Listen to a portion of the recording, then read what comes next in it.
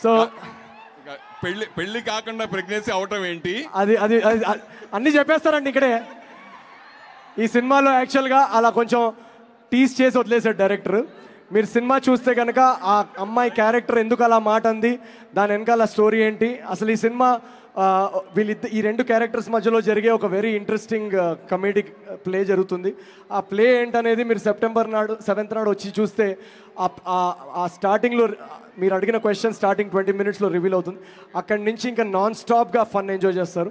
So మీరు అందరూ జనరల్గా అందరు నర్వస్గా ఉంటారు బట్ మేమందరం చాలా ఎక్సైటెడ్గా ఉన్నాం రియాక్షన్స్ చూద్దామని.